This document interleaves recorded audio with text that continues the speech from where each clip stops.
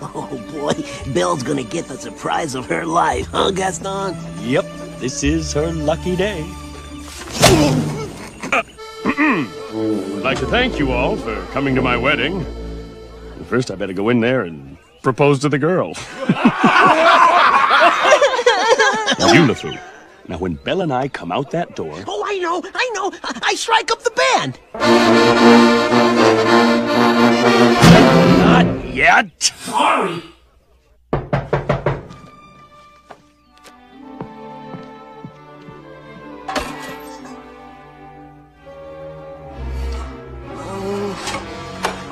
Gaston, what a pleasant surprise. Isn't it, though? I'm just full of surprises. You know, Belle, there's not a girl in town who wouldn't love to be in your shoes. This is the day. Hmm. This is the day your dreams come true. What do you know about my dreams, Gaston? Plenty. Here, picture this a rustic hunting lodge, my latest kill roasting on the fire, and my little wife massaging my feet.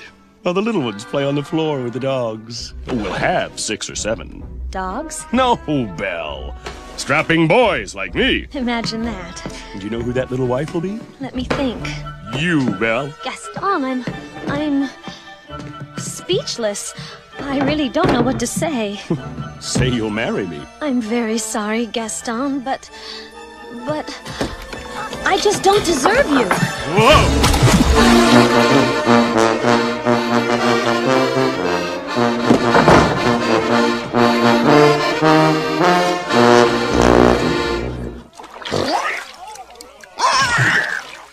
So, how'd it go? I'll have Belle for my wife. Make no mistake about that. Touchy.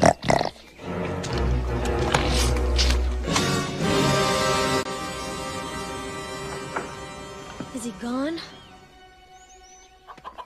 Can you imagine?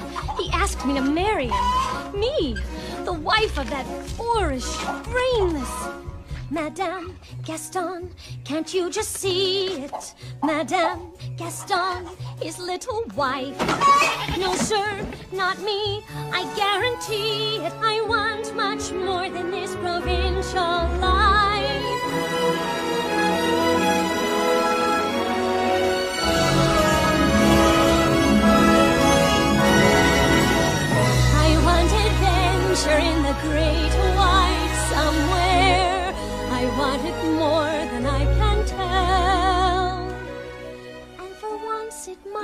Grand to have someone understand. I want so much more than they've got planned.